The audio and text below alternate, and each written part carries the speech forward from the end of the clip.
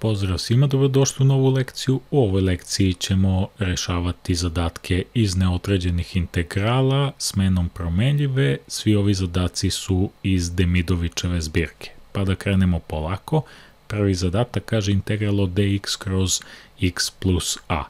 Ovde možemo da uvedemo smenu da je x plus a jednako nekom novom slovu, recimo slovu t. Zašto? Zato što ovde dole imam ispod razlomka zbir dva broja, nešto mi baš ne odgovara da imam zbir dva broja, nego mi odgovara da imam samo nešto jedno, jedino, jednu jedinu stvar, kako bi to lakše moglo se uradi, pa stavimo umesto svega toga dole jedno novo slovo. Sad onda ovo diferenciramo i dobijemo da je izvod od x 1, to nema potrebe da se piše, izvod od a, s obzirom da je konstanta je jednaka nuli, dx je jednako izvod od t je jednak 1 i ostaje nam dt. Dakle, imamo da je dx jednako dt. I onda je sad to dalje jednako integralu. Umesto ovog dx pišemo dt, a umesto ovog dole x plus a pišemo t. I onda je ovo tablični integral. Kad imamo neki integral od dx kroz x, to je zapravo ln, apsolutna vrednost od x, dakle to je logaritam, tako da ćemo ovde dobiti, da je, dakle, aj možemo zapišemo, znači kad imate integral od dx kroz x, to je ln apsolutna vrednost od x plus konstanta c. Pa ćemo to isto ovde da uradimo, samo neće biti sa slovom x, nego će biti sa slovom t, znači to će biti ln apsolutna vrednost od t plus konstanta c i samo uzmemo i vratimo ovu smenu da dobijemo da umesto ove promenljive t imamo promenljivu x, dakle imat ćemo da je to ln od, umesto t pišemo x plus a, znači bit će ln apsolutna vrednost od x plus a plus c. Mnogi ovu, ovaj zadatak pamte i kao formulu, znači kad imate integral od dx kroz x plus neki broj, da je to ln od apsolutne vrednosti x plus taj broj plus konstanta c.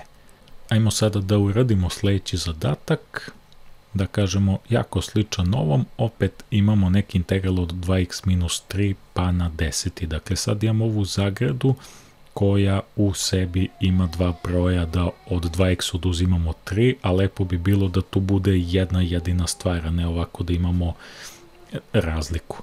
Pa onda uzmemo, prebegnemo strategiji da napravimo smenu od toga, znači ovo 2x minus 3 stavimo da je neko novo slovo, recimo slovo t, i onda vadimo izvod.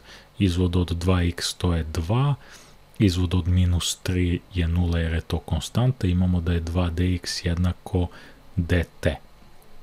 I sad da vidimo čemu je jednako dx odavde, dakle kad podelimo celu jednačinu sa 2, dobit ćemo da je dx jednako jednoj polovini dt. I onda sad menjamo u ovaj naš integral, znači to će biti jednako integralu od, umesto ove cele zagrade pišemo t, na deseti, a umesto dx pišemo jedna polovina dt. Ja ću dt ovde da napišem, a tu jednu polovinu mogu ovako da izbacim ispred integrala. I sad je to dalje jednako, jedna polovina. Ajmo da rešimo ovo kada imate zadatak, ovo je tablični integral, kad imate integral od x na neki stepen alfa pa dx, to se računa kao x na alfa plus 1 kroz alfa plus 1 i plus konstanta c. Dakle, ovde nam u ovom zadatku nam je alfa 10, pa će to biti zapravo kao da smo dobili t na 10 plus 1 kroz 10 plus 1 i plus konstanta c, odnosno to je dalje jednako jedna polovina puta t na 10 plus 1 to je t na 11, a dolijemo 10 plus 1 to je 11 i plus konstanta c. I sad samo to izmnožimo gore, množimo 1 puta t na 11 to je t na 11 a dole imamo 2 puta 11, to je 22 i plus konstanta c i samo da vratimo smenu umesto ovog slova t da pišemo x, dakle to će biti 2x minus 3 na 11 kroz 22 i plus konstanta c. Ajmo sada sledeći zadatak, ovde imamo treći koren, pa možemo prvo to malo da uprostimo, znači umesto pišemo treći koren iz toga, mi ćemo pišemo da je to zapravo 1 minus 3x, pa na jednu trećinu, pošto treći koren iz nečega je zapravo taj broj na jednu trećinu. I onda logično, kad imamo to na jednu trećinu, odnosno treći koren iz nečega, malo je glupo da imamo ovde razliku, da kažemo dva broja ili da imamo neki izraz, nego je lepo da imamo samo jednu jedinu stvar, jedno slovo recimo, bi bilo idealno. I onda opet uvodimo neku smenu, smena bi bila da to što imamo unutar zagrade, odnosno unutar korena, bude jednako nekom novom slovu. Znači 1 minus 3x je jednako t, pa onda to diferenciramo, izvod od jedinice je 0, pošto je jedinica konstanta, izvod od minus 3x je minus 3, znači imat ćemo minus 3, dx, da je jednako izvod od t jednako jedinici, to nema potrebe da se piše i dopišemo dt. Sad je dobro ovde da izrazimo čemu je jednako dx odavde, znači podelimo levu i desnu stranu jednakosti sa minus 3 i imat ćemo da je dx jednako minus jedna trećina dt. Ili smo mogli da množimo sa minus jednom trećinom, sve jedno je. I to je dalje jednako integralu od, umesto ovog 1 minus 3 ćemo pisati t, pa imamo ovde na jednu trećinu, a umesto dx ćemo pisati minus jedna trećina dt. Ja ću dt napišem ovde, a minus jednu trećinu ću da pišem ovde ovako ispred integrala, pošto to ne utiče na integraciju, možemo da izbacimo tu minus jednu trećinu ispred integrala i to je dalje jednako minus jedna trećina, opet i ovo tablični integral rešavamo kao i onom prethodnom formulu, znači to će biti t na jednu trećinu plus 1 kroz jedna trećina plus 1 i plus konstanta c, odnosno to će biti minus jedna trećina puta t na jedna trećina i, plus jedno celo, to će biti jedno celo jedna trećina, odnosno to će biti četiri trećine. I dole takođe kada saberemo jednu trećinu i jedno celo, to će biti četiri trećina i plus konstanta c, pa sad ovo što je dole u razlomku možemo da ga popnemo gore i onda će ono da se obrne. Imaćemo da je to minus jedna trećina puta a kad obrnemo ove četiri trećine to će postati 3 četvrtine, imat ćemo t na četiri trećine i plus konstanta c. Obrišemo ovde trojku i trojku i to je dalje jednako minus jedna četvrtina t na četiri trećine i plus konstanta c, odnosno to je dalje jednako minus jedna četvrtina, umesto t ćemo vratiti smenu i pisat ćemo da je to 1 minus 3x pa na četiri trećine i plus konstanta c, i to je rešenje ovog našeg zadatka.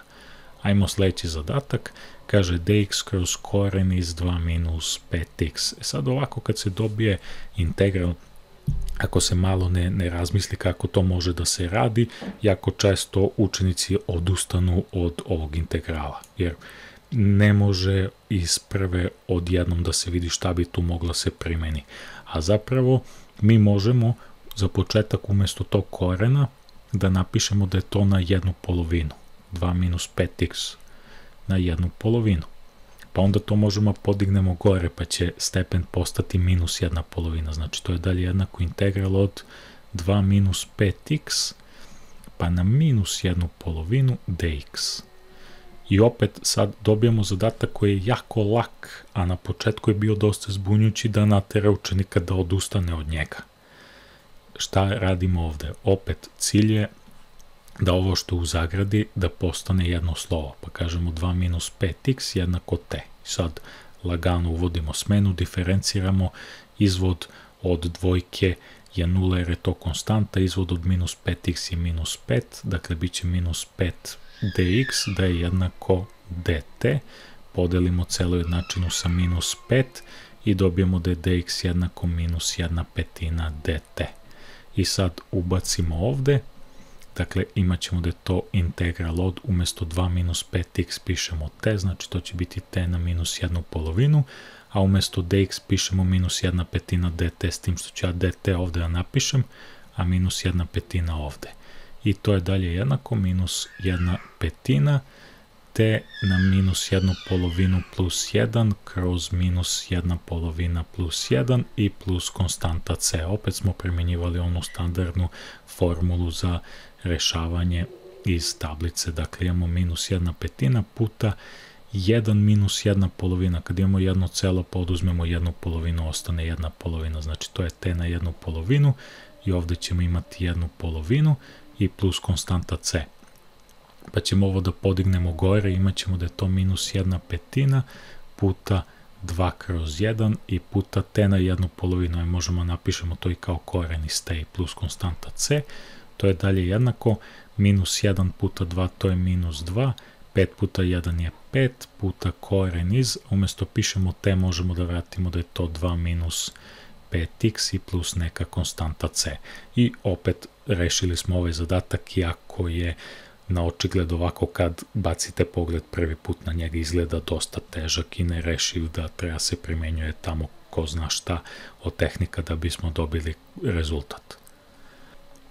Sljedeći zadatak opet malo zamršeniji od ovih prethodnih, ali nije toliko komplikovan, dakle opet nam je cilj za početak da ovo podignemo gore, znači imat ćemo da to integral od 5x minus 2 pa na minus 5 polovine, znači ovdje nam se u eksponentu pojavljuje minus, ako hoćemo da ga oprenemo, nađemo recipročnu vrednost, odnosno hoćemo ga podignemo dx i sad uzmemo i lepo uvedemo smenu, smena će biti da ovo što se nalazi u zaradi, dakle 5x minus 2 bude jednako t i sad to diferenciramo, izvod od 5x je 5x, izvod od minus 2 je 0 jer je to konstanta, znači imat ćemo da je 5dx jednako dt, podelimo ovu jednakost sa 5, imamo da je dx jednako 1 petina dt.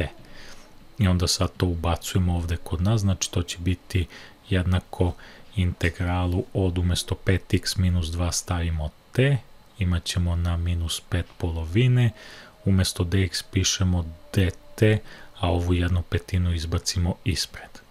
To je dalje jednako, opet je ovo tablični integral, rešavamo ga po onoj standardnoj formuli, znači to će biti t na minus 5 polovine plus 1 kroz minus 5 polovine plus 1 i plus neka konstanta c, to je dalje jednako jedna petina puta imamo minus 5 polovina plus 1. Ova jedinica je zapravo dve polovine i ova jedinica je dve polovine.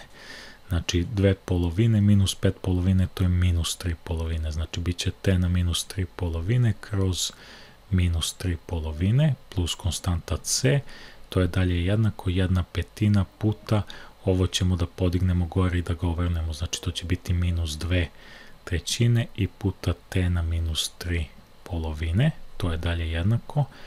Ovo množimo minus 1 puta 2, to je minus 2, 5 puta 3 je 15, umesto t možemo da vratimo smenu i da pišemo da je to 5x minus 2, pa na minus 3 polovine i plus konstanta c. I možemo recimo da ga ostavimo u ovom obliku, ajde da ga dalje ne uprošćavamo i dovodimo na neke druge oblike. To je to što se tiče ovih zadataka, nadam se da vam je sad jasno kako možete da rešavate ove integrale koristeći se smenom promenljive. Vidimo se uskoro u novim klipovima, rešavat ćemo još zadataka iz Demidovićeve zbirke, pratite kanal, izbacivat ćemo ih najvjerovatnije narednih dana. Pozdrav i sve najbolje!